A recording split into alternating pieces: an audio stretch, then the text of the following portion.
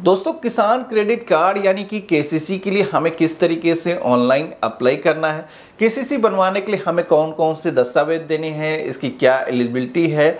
किस तरीके से हमें ऑनलाइन अप्लाई करना है? कितना बैंक केसीसी पर इंटरेस्ट लगाता है? और किस तरीके से बैंक से हमें केसीसी का अप्रूवल लेना है? सारी चीज़ें इस वीडियो में आपको बताने वाला हूँ। तो चलिए शुरू करते हैं।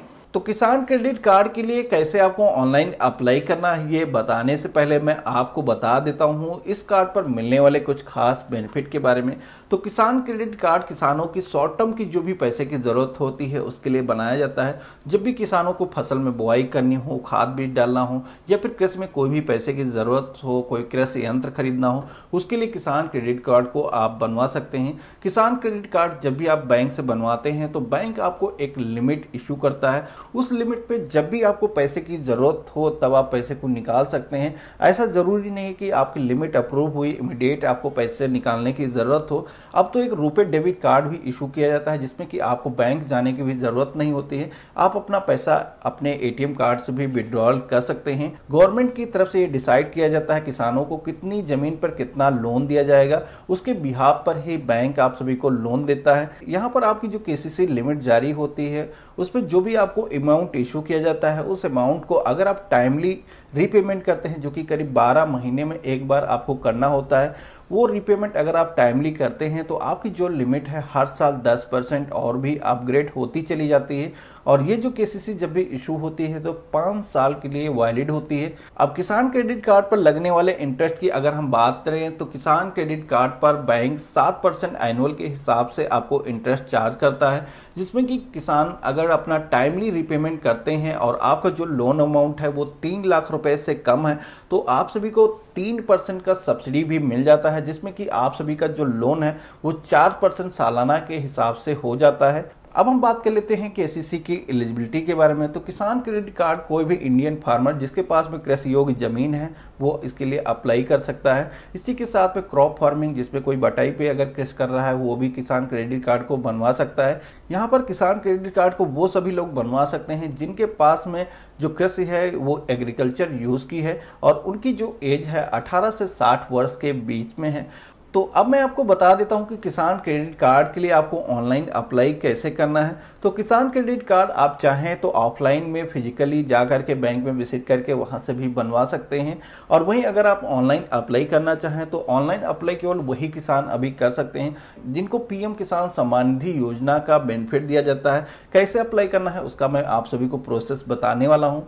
किसान क्रेडिट कार्ड को ऑनलाइन अप्लाई करने के लिए हम अभी आ चुके हैं। कृषि एवं किसान कल्याण मंत्रालय की तरफ़ से चलाई जाने वाली वेबसाइट, जो कि सीएससी की सहायता से चलाई जाती है। इस वेबसाइट के माध्यम से आप किसान क्रेडिट कार्ड को ऑनलाइन ही अप्लाई कर सकते हैं। अप्लाई करने के लिए आपको यहाँ पर अप्लाई न्यू फॉर केसीसी का ऑप्शन मिलता है। आपको इस ऑप्शन पे क्लिक कर देना है। यहाँ पर अगर आपके पास में डिजिटल सेवा आईडी यानी कि सीएससी की आईडी नहीं है तो आप किसी भी सीएससी सेंटर या फिर साइबर कैफ़े पर जा करके आप वहाँ से फॉर्म को फिल करा सकते हैं। तो यहाँ पर मैं अपनी आईडी को फिल कर देता हूँ। इसके बाद में आपको लॉगिन के ऑप्शन पे क्लिक कर देना है। वेबसाइट पर लॉगिन होने के बाद में आपको यहाँ पर अप्लाई न्यू केसीसी आपको इस ऑप्शन पे क्लिक कर देना है। क्लिक करते ही आपके सामने पेज कुछ इस तरीके का डिस्प्ले आता है। यहाँ पर आपको किसान का आधार नंबर फिल कर देना है। इसके बाद में आपको दिए गए सबमिट के ऑप्शन पे क्लिक कर देना है। वह यहाँ पर आप देखेंगे जो भी किसान की डिटेल है, सारी डिटेल ऑटोमेटिक ही यहाँ पर डिस्प्ले हो जाती है। यहाँ पर प्रधानमंत्री किसान सम्मान निधि योजना में जो भी किसान ने पहले से डिटेल को दे रखा है, सभी डिटेल यहाँ पर ऑटो पॉपुलेट हो जाती है। यहाँ पर आप देखेंगे प्रधानमंत्री किसान सम्मान निधि योजना की जो आईडी है, आपको देखने को मिल जाती है। साथ ही में यहाँ पर फार्मर का name male female gender mobile number और यहाँ पर आपको अकाउंट नंबर देखने को मिल जाता है। तो यहाँ पर ये सारी डिटेल आपको वेरीफाई कर लेना है। इनमें आपको चेंजेस करने की ज़रूरत नहीं है तो बाकी की डिटेल को फिल करने के लिए पेज को नीचे की तरफ़ लेके आना है। तो यहाँ पर आपके सामने एक ऑप्शन डिस्प्ले होता है, जहाँ पर टाइप ऑफ़ केसीसी के बारे में आपसे पूछा जाता है। तो यहाँ पर आपको बताना है कि किसान के पास में पहले से कोई केसीसी है या फिर नहीं है। तो पहला जो ऑप्शन है इशू ऑफ़ फ्रेश केसीसी या अगर किसान के पास में कोई भी केसीसी कार्ड नहीं है तो यहाँ पर आपको फ़र्स्ट ऑप्शन सेलेक्ट करना है। वही किसान के पास में पहले से केसीसी है और उसकी वो किसान लिमिट बढ़ाना चाहता है तो यहाँ पर आप सेकेंड ऑप्शन पे क्लिक कर सकते हैं। वहीं पे थर्ड ऑप्शन है, जिसका आप सिलेक्शन तब कर सकते हैं अगर केसीसी पहले से किसान के पास में था और वर्तमान में इनएक्टिव हो चुका है और फिर से दोबारा से उसको एक्टिव कराना है तो यहाँ पर थर्ड ऑप्शन पे क्लिक कर सकते हैं। तो यहाँ पर मैं फिर से केसीसी बनाना चाहता हूँ। किसान के पास में पहले से कोई भी केसीसी नहीं है तो यहाँ पर मैं फ़र्स्ट ऑप्शन को सेलेक्ट कर देता हूँ। नेक्स्ट ऑप्शन मिलता है जहाँ पर आपसे पूछा जाता है लोन अमाउंट के बारे में। तो यहाँ पर जितना भी लोन अमाउंट किसान चाहता है, आपको फिल कर देना है। यहाँ पर तीन लाख रुपए तक का लोन इसके माध्यम से आप ले सकते हैं। लेकिन यहाँ पर आपकी ज़मीन जितनी भी है, उसी के हिसाब से आपको बैंक लोन ऑफ़र करता है। तो यहाँ पर अपने मन मुताबिक जो भी आपको अमाउंट की नीड है, आप फिल कर सकते हैं। बाकी बैंक इसमें चेंजेस कर सकता है, जब भी फ़ाइल आपके बैंक में जाती है। तो यहाँ पर अगर आप कोई भी इंफॉर्मेशन को कम ज़्यादा भी फिल कर देते हैं, तब आपको कोई भी प्रॉब्लम आने वाली नहीं है तो यहाँ पर मैं तीन लाख रुपए का जो अमाउंट है फिल कर देता हूँ। यहाँ पर जो बेनिफिशियरी का नेम है, साथ ही में जो अकाउंट डिटेल है, आप यहाँ पर देख सकते हैं। तो यहाँ पर ये भी सारी इंफॉर्मेशन को आपको वेरीफाई कर लेना है। ऑप्शन में आएँगे तो यहाँ पर आप देखेंगे, आपके सामने दो पॉलिसी के नेम आपको यहाँ पर दिखाए गए तो यहाँ पर आप देखेंगे फ़र्स्ट पॉलिसी है प्रधानमंत्री सुरक्षा बीमा योजना, जिसमें किसान को बारह रुपए साल के पेमेंट करने होते हैं, जिसमें किसान दो लाख रुपए तक का बीमा हासिल कर सकता है।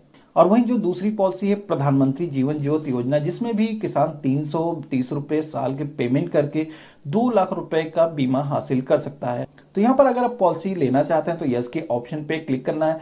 अदरवाइज़ आपको दोनों ही ऑप्शन में नो के ऑप्शन पे क्लिक कर देना है। इसके बाद में नेक्स्ट ऑप्शन मिलता है एग्जिस्टिंग लोन के बारे में। तो पहले से अगर किसान ने कोई भी लोन ले रखा है तो यहाँ पर आपको लोन की डिटेल शेयर करने का ऑप्शन मिल जाता है। अगर पहले से कोई भी लोन नहीं है किसान के पास में तो यहाँ पर आपको नो के ऑप्शन पे क्लिक कर देना है। इसके बाद में नीचे की तरफ़ आएँगे तो यहाँ पर आपको लैंड डिटेल को फिल करने के लिए ऑप्शन आ जाता है। तो यहाँ पर आपको लैंड डिटेल जहाँ पर भी आपकी ज़मीन मौजूद है, जिस भी विलेज में जमीनें मौजूद हैं, आपको यहाँ पर वो एड्रेस टाइप करना है। विलेज को टाइप करने के बाद में आपको सर्वे खसरा नंबर के ऑप्शन में आ जाना है।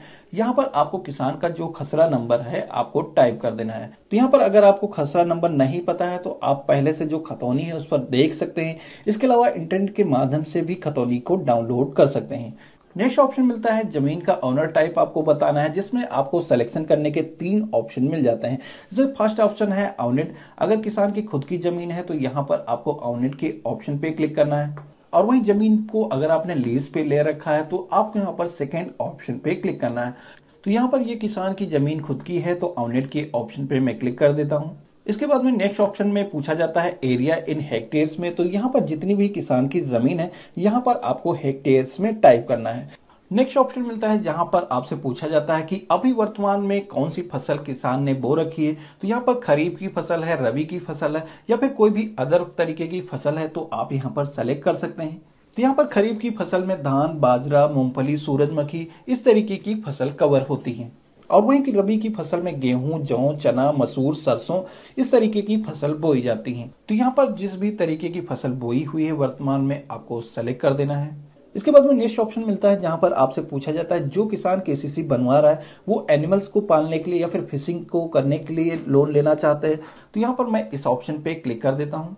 इसके बाद में आपको सिक्योरिटी प्रोपोजल अपडेट के ऑप्शन में आ जाना है। तो यहाँ पर मैं आपको रिकमेंड करूँगा कि यहाँ पर आपको ज़मीन की ही डिटेल को आपको फिल करना है। तो यहाँ पर आपको अवन लैंड के ऑप्शन पे क्लिक कर देना है। और यहाँ पर भी अवन लैंड आपको टाइप कर देना है। इसके बाद में आपको डिक्लेरेशन को एक्सेप्ट कर लेना है।